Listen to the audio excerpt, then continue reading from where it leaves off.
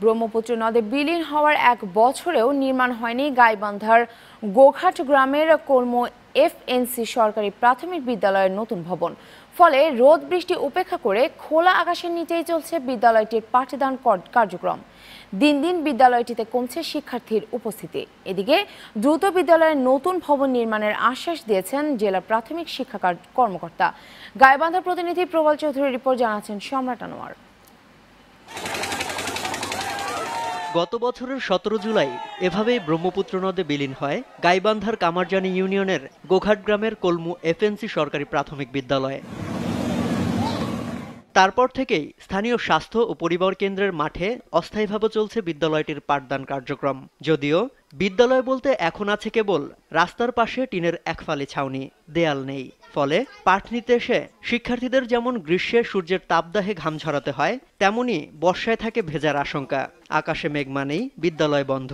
বৃষ্টির সময় আমাদের হলো এখানে হলো পড়তে অসুবিধা হয়। আসলে আমাদের বৃষ্টির সময় আমাদের গাবতে যায় এ রোদে আমাদের আসতে অসুবিধা হয়। পড়ার মধ্যে মনোযোগ দেয় না। রাস্তা দিয়ে মানুষ গেলে সেখানে আমরা দেখি বৃষ্টি আছে মানুষের কাছে খারাপ লাগে বৃষ্টি কমে আবার আসার লাগে বই ভিজে যায়। রোদ বৃষ্টি ঝড় মানে খুবই কষ্টে। প্লাস পরীক্ষা নেওয়ার সময় আরও বেশি করে কষ্ট ছিল। এই কষ্টের মধ্যে দিয়ে আমরা এখানে ক্লাস নিচ্ছি। টিউবওয়েল ও টয়লেটের সংকটও আছে ব্যাহত হচ্ছে পাঠদান কার্যক্রম। এ অবস্থায় কমতে শুরু করেছে শিক্ষার্থীদের উপস্থিতি। নতুন ভবন নির্মাণের জন্য প্রয়োজনীয় জমির ব্যবস্থা হয়েছে।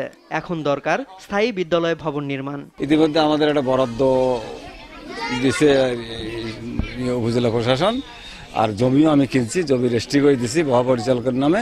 এদিকে বিদ্যালয়ের নতুন ভবন নির্মাণে দ্রুত ব্যবস্থা নেওয়ার আশ্বাস দিয়েছেন জেলা প্রাথমিক শিক্ষা কর্মকর্তা। জায়গা সংকটের কারণে এতদিন আমরা ঘর তুলে শ্রেণীকক্ষ নির্মাণ করতে পারি নাই। আগামী পনেরো দিনের মধ্যে শ্রেণীকক্ষ তৈরি করে শিক্ষার্থীদের পাঠের মোটামুটি একটা পরিবেশ ফিরে নিয়ে আসতে পারব আমার বিশ্বাস। নদীতে বিলীন হওয়া কলমু এফএনসি সরকারি প্রাথমিক বিদ্যালয়ের নতুন অবকাঠামো নির্মাণ করে শিক্ষার্থীদের শিক্ষার অধিকার নিশ্চিতের দাবি স্থানীয়দের। সম্রাট আনোয়ার, নিউজ নাইন, ঢাকা।